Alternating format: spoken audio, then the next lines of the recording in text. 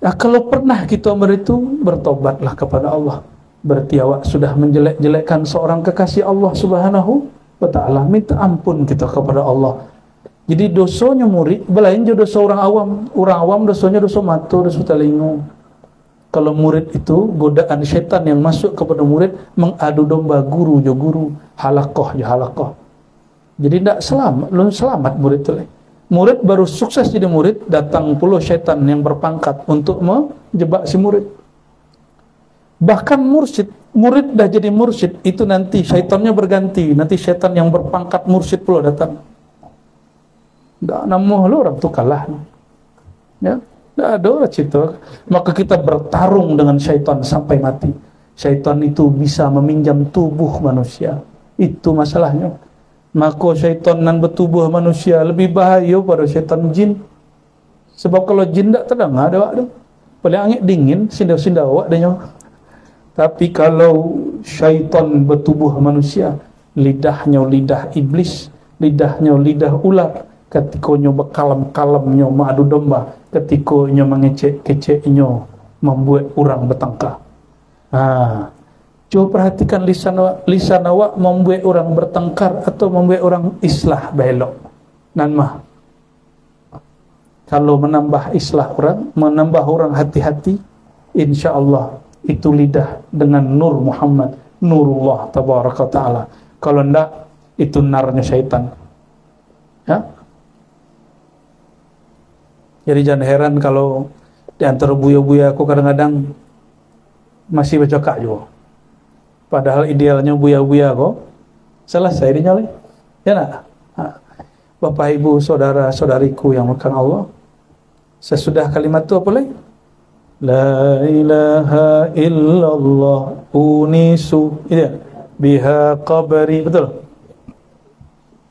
Ambo dulu diijazahkan Abu Ya Nu'man Basir. Beliau mambiak dari guru-gurunya. Ya, guru beliau kan banyak dulu ya.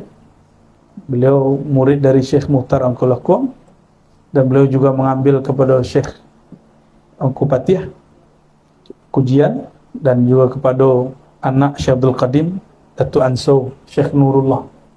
Ya. Abu Yanuan masih, masih hidup. Kami diajar dulu mau kami baru 9 tahun sampai kini hafal.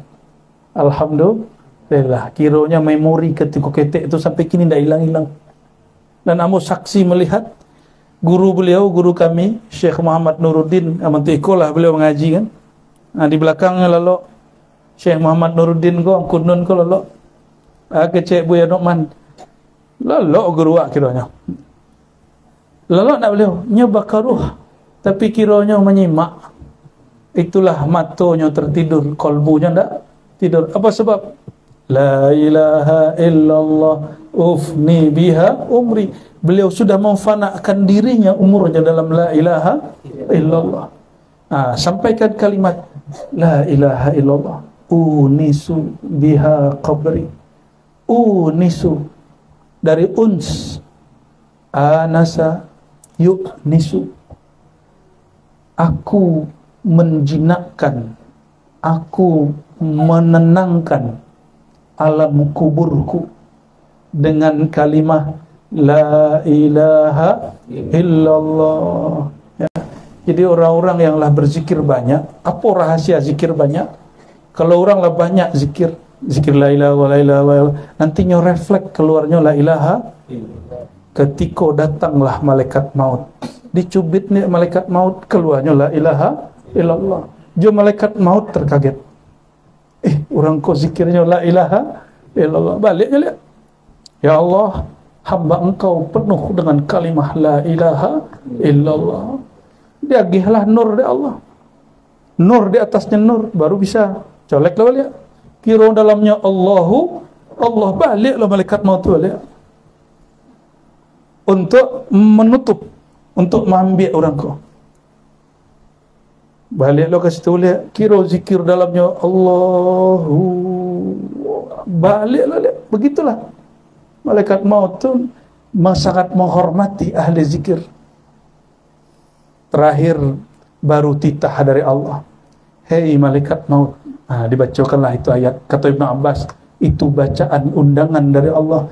Ya ayyatuhan nafsul mutmainnah.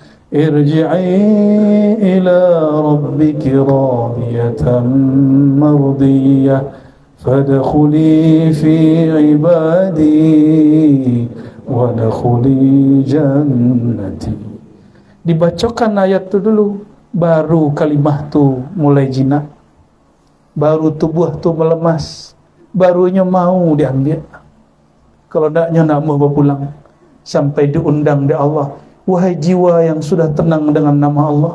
Wahai jiwa yang sudah tenang dengan berzikir kepada Allah. Wahai jiwa yang sudah tenang dalam menyebut Allahu Allah. Irji'i ila rabbiki radiyatan mardiyah. Pulanglah engkau ke hadirat Allah dengan penuh ridha darinya engkau pun diridainya itulah ujung yang kita minta.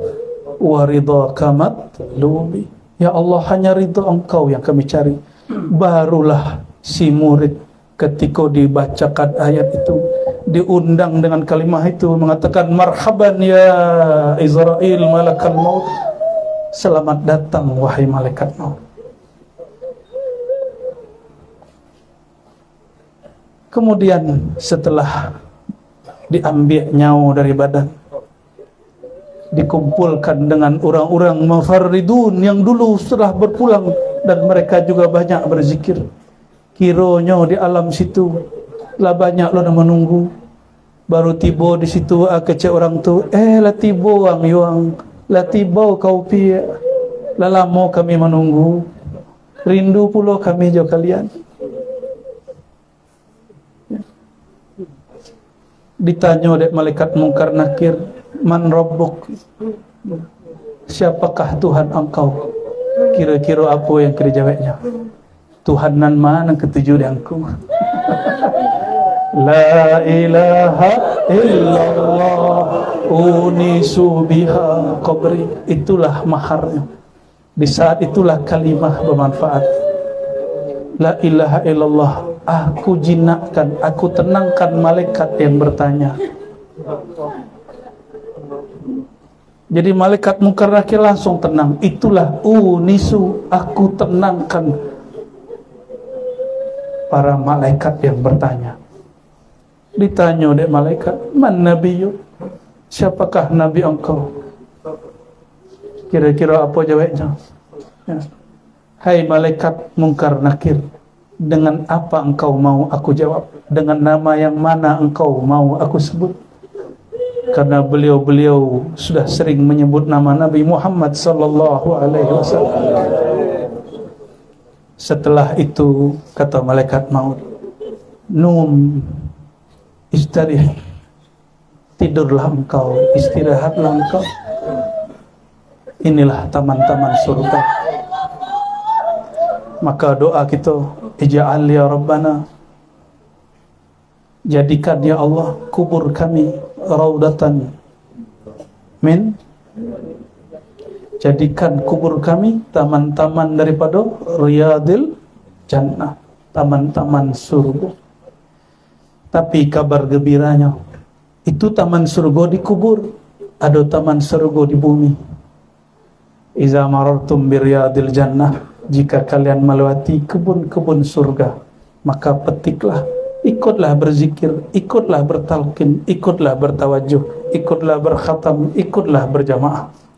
Bukan membidah-bidahkan. Jadi kalau orang menunggu taman surga dikubur, kelamaan temui kebun surga mulai dari sini. Mulai dari alam yang fana kok ada kebun-kebun surga. Itulah taman berzikir, itulah taman ma'rifatullah, taman mengenal Allah Subhanahu wa taala. Semoga kajian yang pendek menjadi bekal kita untuk bertemu Allah Subhanahu wa taala. Maka ditutuplah di situ la ilaha illallah. Ha? In alqa biha rabbi. La ilaha illallah dengannya lah aku bertemu Allah subhanahu wa ta'ala kira-kira kalau bersabak Allah dengan la ilaha illallah ridhakah Allah pasti Allah ridho. Ya. Langsung dibukakan pintu surga. Ya. Salamun alaikum tibtum kata malaikat Ridwan khazanatul jannah wahai ahli la ilaha illallah salam sejahtera bagi kalian selamat datang Inilah nikmat yang telah Allah sediakan. Semoga nikmat itu kita dapatkan sedari di dunia. Amin ya rabbal alamin ila ruhin nabi sallallahu alaihi wasallam wa ila ikhwanihi minal anbiya wal mursalin wa ila imamina Abdul Qadir Jilani kutub rabbani wa syekh Muhammad Bahauddin Shah Naqsabandi wa al imamina kutub al irfani sayyidi Muhammad Ibn Karim Samani وإمامنا سيدي أحمد تجاني وعمر الرفاعي وأحمد بن دس الإدريسي وخليفة الزمان قطب الغوث الإمام المهدي وسيدنا عيسى وسيدنا إلياس وجميع أولياء تعالى والمرشدين والمربين الفاتحة.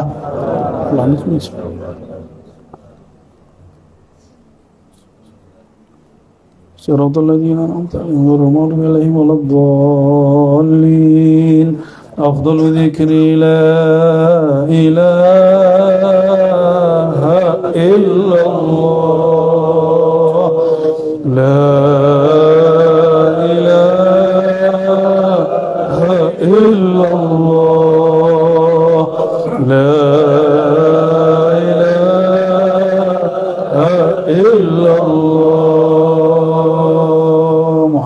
رسول الله صلى الله عليه وسلم لا إله إلا الله لا إله إلا الله لا إله إلا الله لا إله إلا الله لا إله إلا الله لا إله إلا الله لا إله إلا الله لا إله إلا الله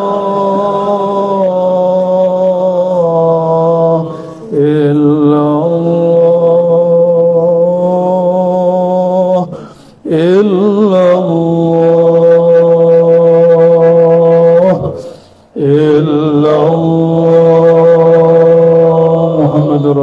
الله صلى الله عليه وسلم. كلمة حق عليها نحيا وعليها نمو إن شاء الله تعالى. آمين. ولا حول ولا قوة إلا بالله العظيم. صلى الله على محمد. صلى الله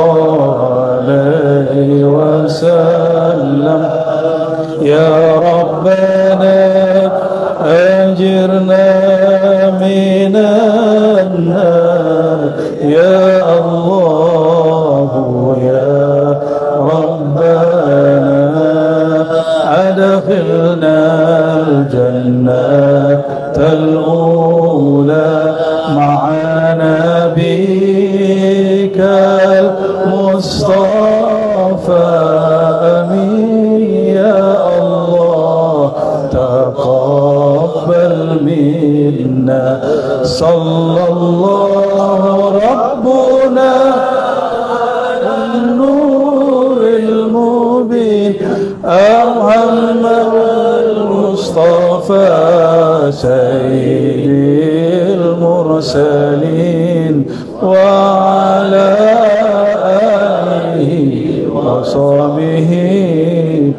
أجمعين.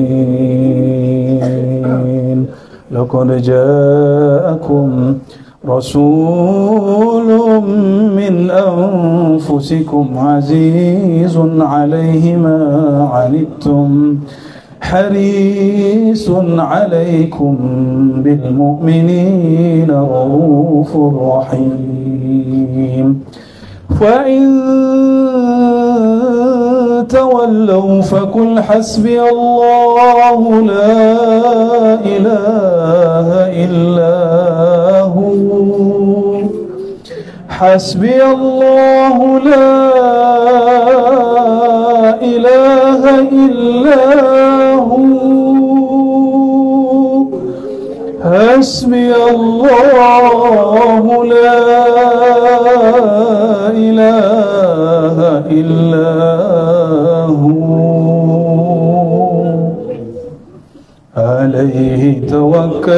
توكلت وهو رب العرش العظيم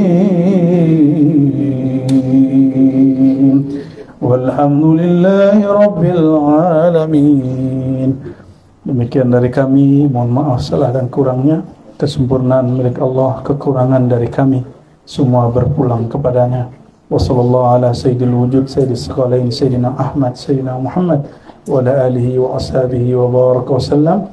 Mohon maaf, tidak usah mungkin bersalaman, karena kami langsung ke ke Pulau Banda, Pulau Banda Taram. Uh, mohon diberikan jalan, ya, izin kubu godang, ya surau Engkemudoan. Assalamualaikum warahmatullahi wabarakatuh. Kamu izin Bu ya? Ya.